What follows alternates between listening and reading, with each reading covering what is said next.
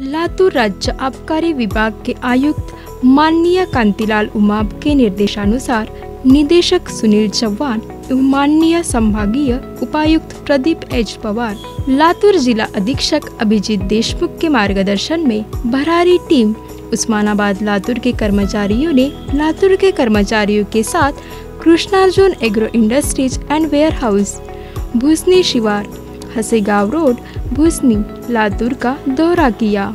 26 जुलाई को छापेमारी के दौरान उक्त अपराध में बिना लाइसेंस के नकली देशी शराब का अवैध निर्माण एवं परिवहन एवं बिक्री के उद्देश्य से आवश्यक स्प्रिट के कब्जे में बरामद किया गया।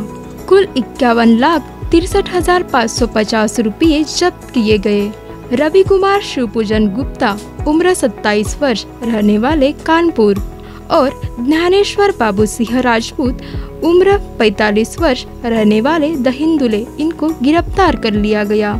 इस कार्यवाही में अधीक्षक अभिजीत देशमुख, भरारी दस्ते के निरीक्षक टी एस कदम उप निरीक्षक PG Kadam, Sachin Shete R A Ghorpade, Mahesh Kankal, Vishal Chauhan, Rajesh Giri, Ejaz Shaikh, साथ ही Latur inspector R M Bangar द्वितीय निरीक्षक एल पी माटेकर, अमोल शिंदे, सहायक उपनिरीक्षक गणेश गुले अनिरुद्ध देशपांडे, हनुमंत मुंडे, संतोष केंद्र, सुरेश काले आदि लोगों ने भाग लिया। आगे की जाँच भरारी दस्ते, Osmanabad Latur inspector T S Kadam यह कर रहे हैं।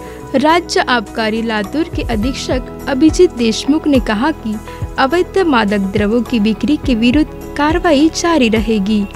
निकिता वरम्बे के साथ संतोष सोनवने की रिपोर्ट।